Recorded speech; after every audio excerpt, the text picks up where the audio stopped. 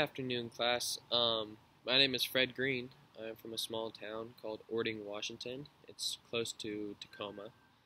What is my major? I'm an MDS major with a few certificates and a focus of business and leadership. I don't have them yet. I'm still pursuing. And what do I want to do with my education? I would like to open a brewery in uh, downtown Boise. I think that'd be really cool own my own business. Um, damn, at least three hobbies you enjoy. I enjoy running. Um, currently, I'm training for my first marathon, so that's pretty exciting.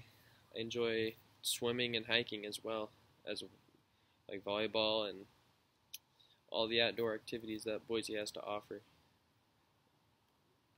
My expectations for this class is to take the skills of developing projects and design and being able to apply this to my future business that does not exist yet, but uh, thinking hopeful and shooting for the stars in this one. I just want to be able to apply the skills into my future career. The concerns I have for this class is staying on top of all the uh, all the due dates. Luckily, everything's due on Sunday in this course.